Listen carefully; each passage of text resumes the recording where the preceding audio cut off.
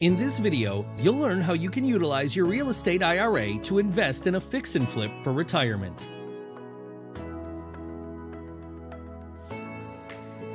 A real estate IRA could be the mobilizer for your home renovation goals.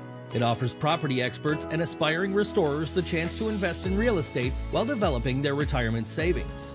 Here's a few elements to consider before plunging into fix and flips upgrading your real estate IRA to an IRA LLC. An IRA LLC amplifies your account through the turbocharged checkbook control, which is essential for real time investing. It allows you to have the autonomy to execute your everyday transactions without the involvement of your custodian. By saving on transaction fees, you can potentially accrue more towards your retirement. Watching out for unrelated business taxable income, or UBTI. Fix and flips are considered to be a field that typically generates earned income. This can cause your account to be potentially construed as an active trade or business, meaning you're benefiting from the profits now instead of in retirement. The IRS usually examines your IRA's frequency of transactions within a year, the intent of the account holder, and all previous activities performed by your IRA to ensure it has been IRS compliant. If you repeatedly resell real estate, your account may be subject to UBIT, potentially evading UBIT.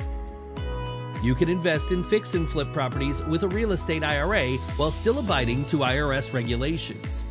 As it's permissible to purchase a property and refurbish it without selling, consider completing the fixing aspect and then put your property on the market for rent.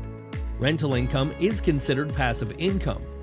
A general rule of thumb is after 12 months, said property may be viewed as a passive asset by the IRS.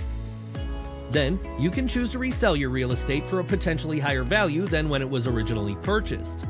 Other ways to participate are to behave as a private lender from your real estate IRA to an expert fix and flipper, or by employing a UBIT Blocker C corporation.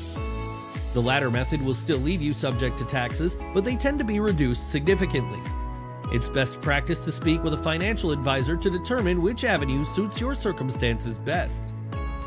Want to learn more about establishing a real estate IRA? Our real estate IRA specialists are readily available to take your call.